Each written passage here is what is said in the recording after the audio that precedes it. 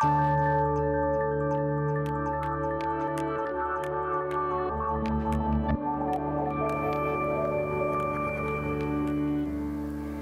にちは。8月14日月曜日豊島情報スクエアです。豊島区本庁舎1階の豊島テレビエコミューゼタウンスタジオから生放送でお送りいたします。まずは台風についてです。現在台風7号が本州に接近しています。テレビやインターネットラジオなどの最新の気象情報を確認し今後の台風の進路にご注意ください。また不要不急の外出は控えて安全を最優先に対応してください。繰り返します。現在台風7号が本州に接近しています。テレビやインターネットラジオなどの最新の気象情報を確認し今後の台風の進路にご注意ください。不要不急の外出は控えて安全を最優先に行動してください。それでは豊島区の最新情報ニュースフラッシュです。今日はこちらの話題をお伝えいたします。まずは窓口業務臨時休業のお知らせです。8月19日土曜日と20日日曜日はシステムメンテナンス作業のため区役所本庁舎3階4階の窓口業務は終日休止とさせていただきます。ご不便をおかけいたしますがご理解ご協力のほどよろしくお願いいたします。なおマイナンバーカードを使用してコンビニエンスストアで証明書を取得することは可能です。詳しくは豊島区ホームページをご覧ください。熱中症に気をつけましょう。熱中症予防のポイントをご紹介します。エアコンを使いましょう。日中だけでなく夜間や就寝時も使用して温度を調整しましょう。こまめに水分を補給しましょう。汗をかいた場合には適度な塩分補給も大切です。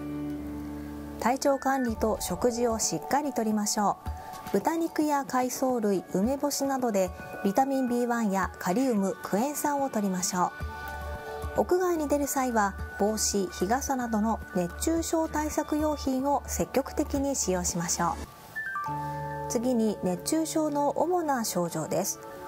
手足にしびれがあるめまい気分の悪さこむら返りといった症状がありましたら涼しいところで一休み水分や塩分を補給しましょう。また頭痛や吐き気体がだるい意識がなんとなくおかしいといった症状がありましたら涼しいところでの一休みや水分塩分の補給に加えて衣服を緩めて体を積極的に冷やしましょう。またこういった様子のある方がいましたら声をかけるようにしてください。詳しくは区のホームページをご覧ください。皆様熱中症にお気をつけてお過ごしください。豊島健康長寿2023開催のお知らせです。豊島区歯科医師会では11月11日土曜日に区民センター多目的ホールにて豊島健康長寿2023を行います。このイベントでは豊島区にお住まいの8020達成者。80歳以上でご自分の歯を20本以上お持ちの方が健康長寿のお手本として区から表彰されます。達成された方にはコンビニエンスストアでも使えるクオ・カードや紅白の歯ブラシなどの記念品が贈られます。また同時に豊島区の小中学生による歯と口の健康に関する図画ポスターコンクールの最優秀コンクールの優秀作品に対しての表彰式も行います。今年は表彰式の後東京都健康長寿医療センターフレイル予防センターの平野博彦先生によるオーラルフレイルに関する講演会も予定しています。ぜひご参加ください。町や公園お庭など身近な場所に暮らす生き物を探して記録する豊島生き物探しが今年も開催中です。昆虫や鳥などを探すことで生き物がどこにどのくらいいるのかの変化を知ることができ生物の多様性を保つための重要なデータとなります。調査ガイドで紹介されている生き物を区内で見つけたら生き物発見レポート用紙に記入してぜひご報告ください。また見つけた生き物の写真が撮れましたらぜひ送ってください。区のホームページなどに掲載させていただきます。調査期間は令和5年9月30日土曜日までです。記入済みの生き物発見レポート用紙の受付は10月16日月曜日まで受け付けております。区内在住在学在勤者区を訪れた方などどなたでもご参加いただけます。発見レポートの提出先など詳細は区ホームページをご確認ください。大変暑い季節ですので熱中症に気をつけてご参加ください。皆様の生き物を見つけたという発見情報をお待ちしております。区民による事業提案制度募集のご案内です。現在豊島区では令和6年度に区で実現してほしい事業提案を区民の皆さんから大募集しています。皆さんが日頃感じている課題などを解決するために豊島区が何をしたらいいか新しい視点からの提案をぜひお寄せください。お寄せいただいた提案の中から令和6年度の豊島区の予算に反映するものを区民の皆さんの投票で選びます。募集期間は9月15日金曜日までです。豊島区にお住まいの方や豊島区に通学通勤されている方ならどなたでも応募できます。また豊島区内に拠点を持つ企業団体学校などのグループでの応募も可能です。詳しくは豊島区ホームページをご覧ください。たくさんのご応募をお待ちしています。以上ニュースフラッシュでした。続いては特集です。皆さんは障害者アートに興味はありますか？今回は障害のある方のアート授業への参加とその作品の魅力に触れる機会についてお話を伺います。では豊島区のアート授業についてお話しいただくゲストはこちらの方です。保健福祉部障害福祉課から星田京子さんにご出演いただきます。星田さんよろしくお願いします。よろしくお願いいたします。さあ豊島区ではさまざまな障害者アートに関する授業というのを行っているんですよね。はい。障害のある方の作品を展示したり作品を制作するための教室を開催するなど美術作品の芸術性や制作活動を広く紹介していくことで障害への理解と障害のある方の社会参加を促進することを目的として取り組んでいます、はい、文化活動を通じてインクルーシブな社会を推進していきたいと考えています、インクルーシブって言葉は聞きますけれどどういった意味なんでしょうか？はい。インクルーシブとは全てを包括する包み込むという意味でインクルーシブな社会とは障害の有無や性別の性別などの違いを認め合い全ての人がお互いの人権と尊厳を大切にして生きていける社会のことを言います。そうなんですさあではここからは区内で開催しているアート事業についてお話を伺いたいと思います。どんなものがありますか？はい。まずは街角回遊美術展です。今年度は終了しておりますのでご紹介のみになってしまいます、はい、5月11日から31日までサンシャインシティプリンスホテル地下1階パブリックスペースで開催されました。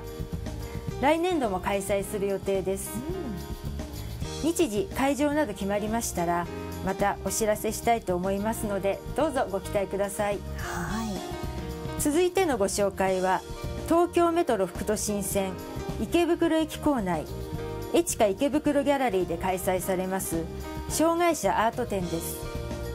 毎年個性あふれる作品を展示しています。今年度は9月30日から10月30日に開催予定ですお仕事帰りなどにぜひお立ち寄りいただけたらと思います。駅構内ということで多くの皆さんに見てもらいやすい場所ですね。はいそうですね。はい。他にもありますか？はい。来年3月には障害者美術展第17回ときめき創造展がございます。うん。ときめき創造展これはどういった展示会なんでしょうか？はい。こちらは昨年度のチラシですがこのときめき創造展は平成20年から開催されている豊島区主催の公募による美術展です。毎年3月に開催しておりまして絵画や書または写真や造形など平面作品から立体作品まで個性あふれる作品がたくさん出展されています。例年豊島センタースクエアで開催していましたが新型コロナウイルスの影響で令和2年度3年度はオンラインで開催することとなりました。令和4年度は展示をすることができまして多くの方に実際に作品をご覧いただきました。また新型コロナウイルスの影響で来場できない方もいらっしゃることを想定しましてオンラインでも開催いたしました。現在もその作品というのは見られるんですか？はいもちろんです。豊島区ホームページで「ときめき」と検索していただきますと第13回から第16回までのときめき創造展に出展された全ての作品と過去のアート教室作品展に出展された作品をオンラインでご覧いただくことができます。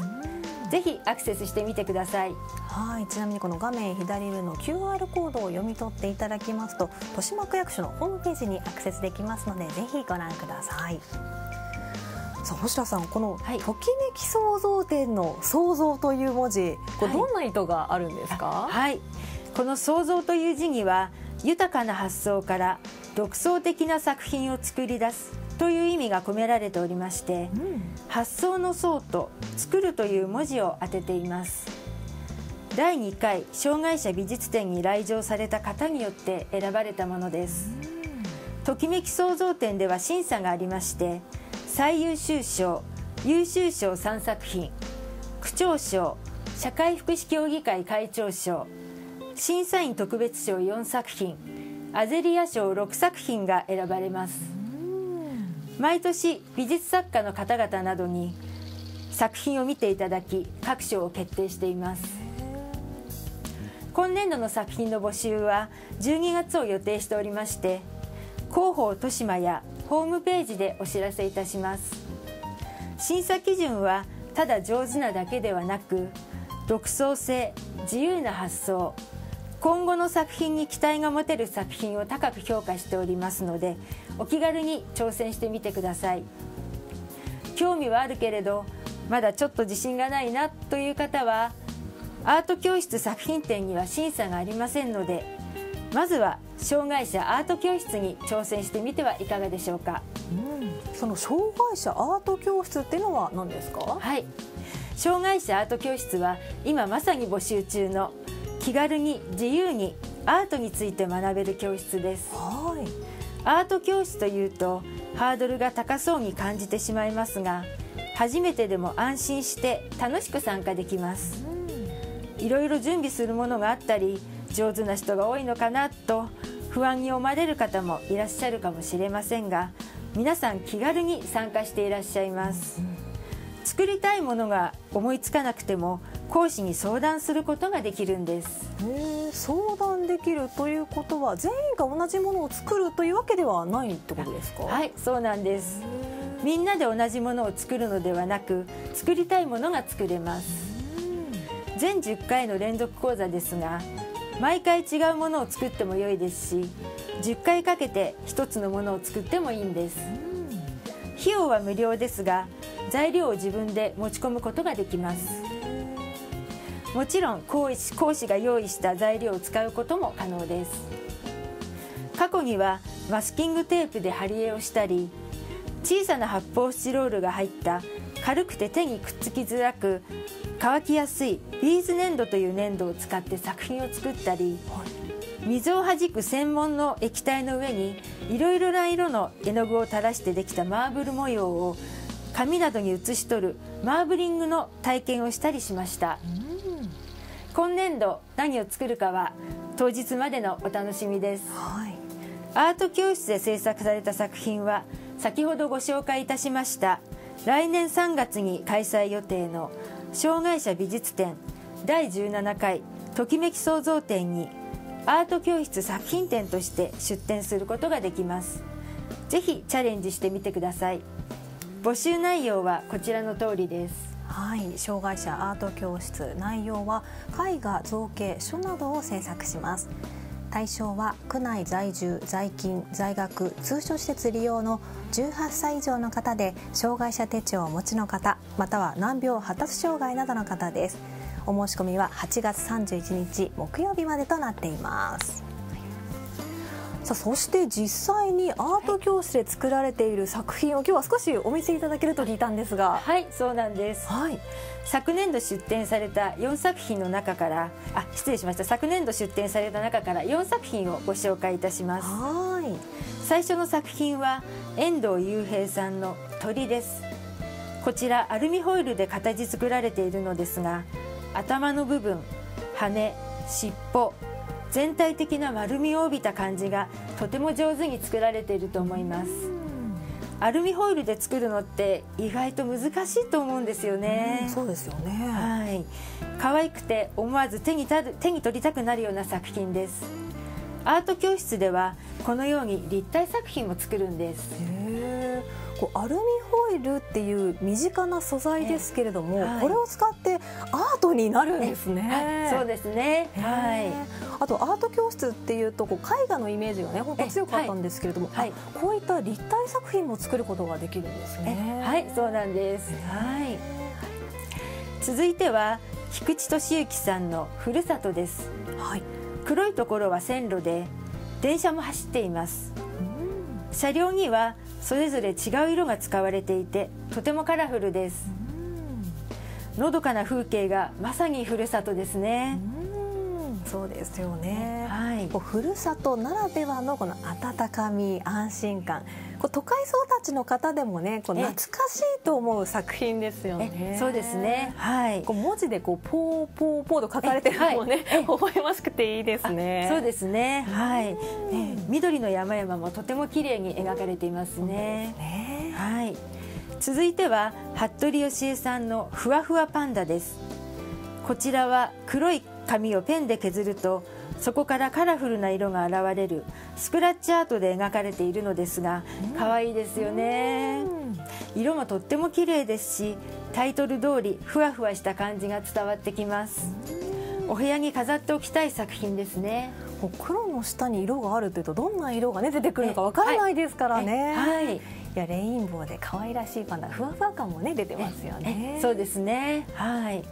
最後は持田圭さんの鏡餅です真横から見たのではなく下から見上げているようなアングルで描かれているのが面白いなと思いましたまた真ん中ではなく少し左寄りに鏡餅を描いているのもいいですねアート教室の開催期間はハロウィンクリスマスお正月といろいろなイベントがありますし節分やバレンタインデーも控えておりますのでこのようにそれぞれの作品にちなんだそれぞれのイベントにちなんだ作品も作ります。さあどれも個性あふれる作品ばかりでした。さあこういった作品が作れる障害者アート教室ですが8月3日より募集が始まっております。え応募はメールやファックスお電話にて受付中です。え場所は心身障害者福祉センターにてえ9月3日を第1回として全10回行われます。ご興味のある方ぜひお申し込みください。さあ今回はただいま募集中障害者アート教室ということでお送りしてまいりました。